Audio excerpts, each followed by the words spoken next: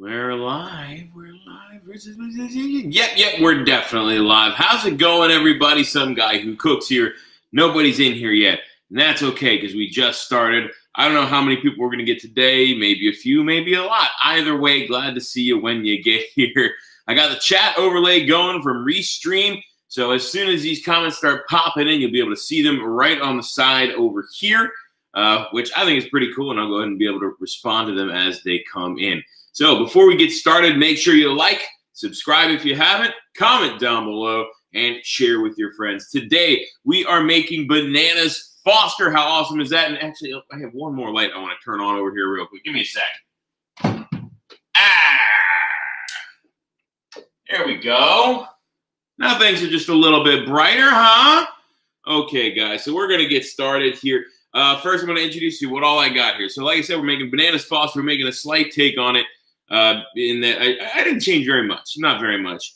Uh, but anyway, as you can see, we've got a bunch of bananas cut up here. They're kind of cut into, I, I quartered them long ways and then cut them into smaller pieces. So, you know, you got about like like this, little banana fries almost. And that's what we're going to be uh, using mm, to make our bananas Foster. Now, what, what you need to do with bananas Foster, really, you kind of need to make the sauce first. And then you toss the bananas in that sauce let them caramelize a little bit, and uh, you know get a, a, a little a little hot.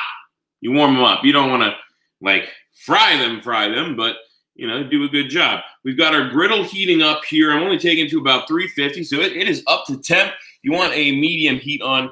Uh, if you're doing just in a pan, you want a medium heat. Uh, but because, like I said, I'm using a griddle, we're doing about 350. Where in the heck did I put my uh, Oh, there they are. I was looking for these guys. I was like, where did it go? And I found it, which is good. So, uh, like I said, you want to start with the sauce first. What we're going to start off with, I'll tell you what all we got. We've got about a quarter of a, a of a cup of butter. Uh, I have a little bit more than that. We've got about a quarter cup of butter. Then we've got dark brown sugar. Actually, I'll point you down here at all the ingredients. Eh, you can't see them so well like that. But anyway, we've also got dark brown sugar. We've got vanilla extract, cinnamon, some chopped walnuts. We've got our bananas, and I got a couple types of alcohol here. I've got uh, some brandy, and then I got some pecan whiskey and banana whiskey. I was really intrigued when I bought these, and I thought, you know what, they'd probably be great for making desserts, and that's what we're going to get to test them out on today. So what we're going to start off with, oh, and we've also got, I've got a really nice Vietnamese cinnamon here. It's it's it's really nice, guys. It's super delicious. Uh, anyway, and then of course our vanilla extract. So what we're going to start with, though, we are going to pop on our butter. I see Crystal has jumped in and says butter and sugar. Huzzah! Those things are both amazing things. And those are exactly what we'll be using today. Um, so here we go. You said skip the bananas. Why skip the bananas? The bananas are great. I love bananas. But anyway, let's go ahead and throw our butter down here. We're just going to let it kind of butter the entire skillet, okay? Uh, it's going to melt down, and that's good. Try not to let it go down your drain in the back there, guys, because you don't want to lose any of this delicious butter. But go ahead, go ahead and uh, melt it around. It's a good amount of butter, and we're going to try to use as much of it as we can. Ah, don't you dare go down that drain in the back, butter. Okay, that's and Look at this butter just sliding around. That is this uh, Blackstone non-stick surface for you. You know. And it's also butter. I mean, butter does that. But anyway, we're going to start adding in some of our brown sugar. We're using dark brown sugar. It's got more, stronger, better flavor. You want about a quarter of a cup of it. So that should do us. I'll add a little more more if we need more. But uh, yeah, start mixing it around with that butter. You want to really create a sauce here, okay? Do, do, do. Uh, and uh, I didn't show you guys, I have another kind of sugar with me, not just brown sugar. I also have some raw sugar, uh, but that's going to come in at the end. What I'm going to use that for is I'm going to uh, sprinkle a little bit of that on top of our banana, buttery, sugary, cinnamon, delicious mixture. And I'm going to brulee it with a brulee torch to give us a little bit of a crispy top for our bananas Foster. So let's go ahead. I'm going to add a little bit more brown sugar because we are creating a sauce here. And we just want this stuff to simmer. Simmer, simmer, simmer. I see Ron has jumped in. Huzzah! Glad you're here. Has your grill lost its nonstick, or is it as good as when you bought it still? It has lost a fair amount of its nonstick. However, it comes back a little bit if you use some baking soda and water as a paste. Let it sit on there, and uh, and then give it a good rub around. It takes off a, a lot of the oils that kind of bind themselves and create um, a not non-stick surface. They kind of kill that non-stick surface, you know. Uh, it definitely helps out. Um, but I mean, look at this. None of this is is sticking. None of it. And keep it away from that drain. You don't want it going down the drain. And sorry, Crystal, I, I, you said you hate bananas. I'm sorry to hear that. I love them. I got a few friends who are actually allergic to bananas, and I'm just like, oh, I'm sorry, guys. That sucks because apparently uh, so one of them I work with, and he said that uh, apparently he didn't used to be allergic to bananas, and he used to love them, and now he's allergic and he can't have them. So bummer, you know. Hate bananas. Level the griddle before cooking on it. Uh, it's I, I, haven't set a level on it, but I'm going to tell you now. It is a it's actually a very level surface. It does a great job. Everything spreads nice and evenly. Um, yeah, I mean, look at it right now. It's spreading out nice and even. Uh, and that's just because it's hot. And I've scooped everything to the center. So that's why it's kind of pushing itself outward because, you know, you can't really expect a liquid pile to stay stacked up in the center there. We're also going to add some chopped walnuts to this. We want these to toast with our mixture. Because, you know, who doesn't, eh, why not? We'll make this very walnutty uh, walnuts and bananas and brown sugar and all that go, go together very, very, very well. So we're going to mix these in. We want this mixture to be not thick, thick, but also not completely runny. But look, add that. That walnut dust is acting just how I want it to. We are going to thin it out a little bit with some of this liquor in a minute, guys. So it's good that it is thickening up.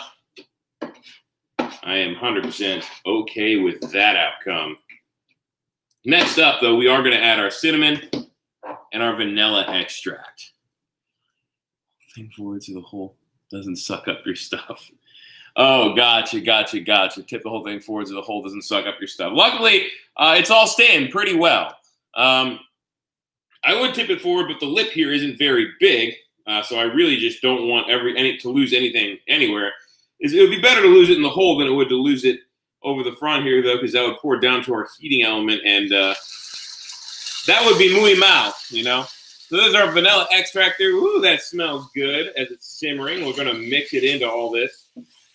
The brown sugar and the butter and the walnuts. And I'll probably add a bit more in a sec here. Okay. I wish you guys could smell this all. It smells fantastic. So, Crystal, right now there's no bananas, so you'd love it just as it is. And you know, you could just take this stuff and put it right on top of some ice cream, and it would be fantastic. I am not going to argue that. Ow. You know, I've managed to burn myself in every episode, don't I? So, this is this is smelling amazing, guys. Now we're going to add our cinnamon and just add another level of amazing flavor and depth to the whole dish. I like a good strong cinnamon flavor, so I'm adding plenty of dashes of this stuff. Oh, oh yeah, I love it. I love it. And we're just mixing that around, and pretty soon, just a moment, we're going to add our liquors, and then we're going to add our bananas and turn off the heat, okay? So here we go. It's all toasting really well. I I do wish you guys could smell this. It smells amazing in here, okay? It really does. It smells like just the, the best desserty smell you can imagine. So let's go ahead and start with our brandy. A big old bottle of brandy. Uh, some cognac here. I'm going to pour a little bit right in the center.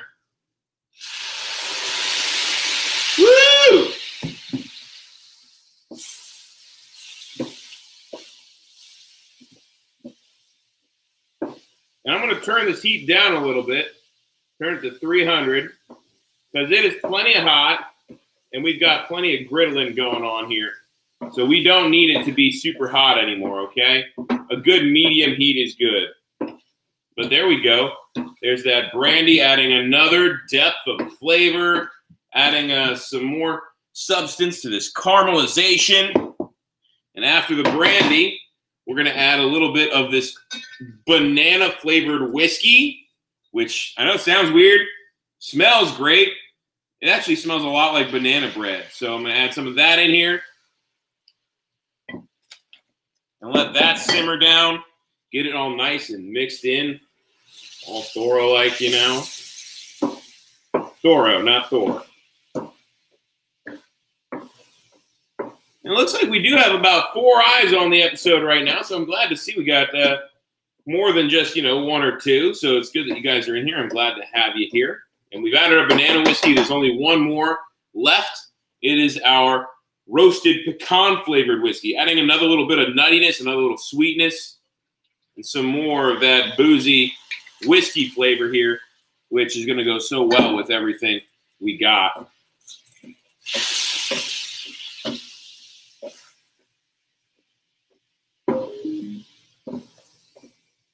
Mm, I can smell the pecans. It's uh, it's fantastic, guys. All right, and our final step on the griddle here is to add our bananas. Sorry, Crystal, this is the part you don't like, but here we go, and they're on there. We got those those nanners added to the mix, and we're just gonna go ahead and uh, mix it all around. Let them get a nice good toss in all this brown sugary goodness. I'm going to get my second here so we can just kind of actually toss them, you know? And because this is all hot, what I can do is actually turn off the griddle now. But look at those bananas. Those are beautiful. And they're just nice and coated in all this brown sugar, whiskey, brandy, cinnamon, buttery mixture here. Vanilla, all that. And I'm gonna, they're, they're all nice and coated. I'm gonna spread them around so they can get a little bit of time cooking in this heat, getting nice and hot. And while they do, I'm gonna go grab the ice cream and put some in the bowl. Like I said, I got some gelato today. I was gonna grab one of those, you know, like two dollar half gallons of butter pecan, and then I saw the gel- the gelato, and I was like, you know what? We gotta we gotta go go big today. We got to go all out. As much as I love that cheapo butter pecan, you can get it like Walmart or whatever. I figured why not go a little bigger? so says, burn them to death. Burn those bananas to death. Um, uh, you know what? Just for you, maybe I'll do that in the future. As for today, I'm eating this, so I'm to let them just simmer. I see Alondra has joined in. Huzzah! Glad to see you. Glad you're here. Real quick, guys, I'm going to go grab that gelato.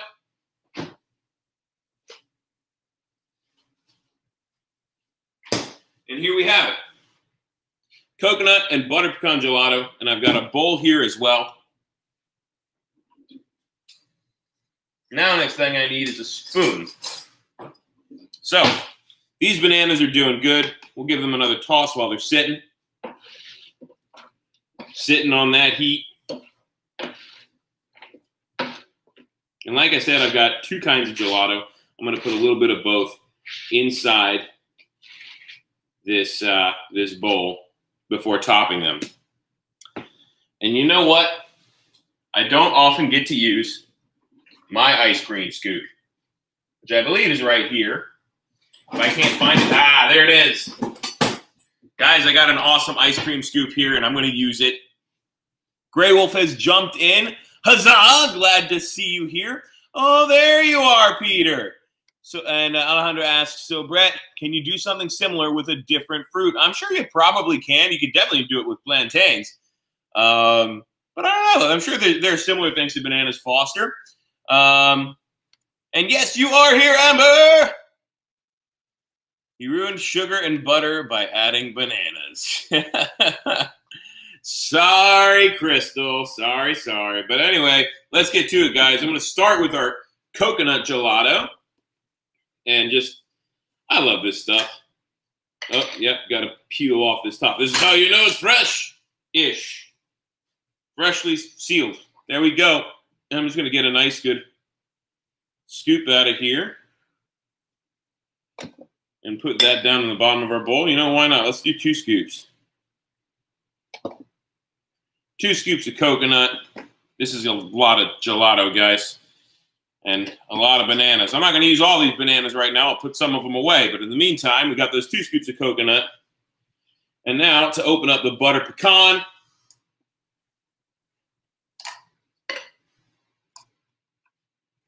One of my favorite ice creams gelato form. I'm sure it's amazing. There we go. Our first scoop of butter pecan. Now getting our second. Two scoops in the bowl. There we go. We have our ice cream slash gelato. And next thing we're going to do, we're going to get a nice big scoop of our bananas with that brown sugar and all that goodness and put it right on top. Sorry, Crystal, I'm also ruining ice cream. But there we go. And as if that's not amazing enough with our bananas on top like that, I'm going to go ahead and add a little bit of some of this uh, sugar in the raw. This is palm sugar. Sorry, turbinado sugar. It's cane sugar, which this is also unopened. So let's go ahead and get that open. I'll set the bowl down so we can get this going. Because I've got a brulee torch. Now, we want to be a little bit quick with this because the ice cream is going to melt fast. Um, it already is a little bit with those bananas on top. Those hot bananas. So there we go. I got this big blister on my thumb, so it hurts doing some of this stuff. But there we go. And time to shake on some of this raw sugar right on top, get some crystals going. And now we're going to take these, we're going to brulee them to create a nice crispy top, okay? So I've got my brulee torch. And easy does it because you don't want this, this flame getting anywhere near your hands, okay? But it's great for bruleeing the sugar right on top. And there we go. That sugar is bubbling. Perfect. We're going to have a crispy top now. All right, guys, here we go. I see Pagan Space Muffin has just jumped in. Huzzah! Glad to have you here as well. OMG Coconut. Great. Wolf, haven't had bananas in the longest time, huh? Because they're so temperamental and you have trouble getting rid of fruit flies when they get in the house. Ooh, fair enough. Challenge make whoop, make fried ice cream. Crystal, I've been thinking about it, and I'm pretty sure I'm going to try it one of these days. But first, I got to give our Foster a, taste here, okay? So we got some of our coconut ice cream. Oh, I love it. No, that was a butter pecan, not the coconut. Some of our bananas here. You can't beat this, guys. Let's get some of our brulee top here, some of the ice cream and some of the banana all together. Mmm. Oh my gosh. You got to make it, everybody. It's super simple. Under 20 minutes here, and most of it has been me talking. Mmm. And the brulee sugar on top. And it just, it's like the cherry on top, but it's sugar instead of cherry. Mmm. The butter pecan and the coconut go very well together, actually. Especially with the bananas and the walnuts. Oh, okay, guys. This is, uh, I'm going to words of crystal here. Just nasty. Yeah, it is disgustingly good. You're right, Crystal. Woo, baby. Anyway, uh, that's all I got for you guys for dessert Saturday or rather, dessert month, Saturday, this Saturday. We got one more week of dessert month. So that's next Saturday. And uh, I'm thinking about making dessert crunch wraps. Tell me what you guys think. In the meantime, thanks for joining. Much love and appreciation. Make sure you like this video. Subscribe if you haven't. Mm. Share it with your friends. Comment down below. And I guess I'll see you all next time. Thanks again for watching. And much love, guys. Keep cooking. You know you can. see you around, everybody. Oh, got some comments. Hang on. Right on time. Your break ends in five. Absolutely beautiful. Enjoy. You got to go. Me too. Crunch Crunchwraps sound good. All right. Take it easy, everybody.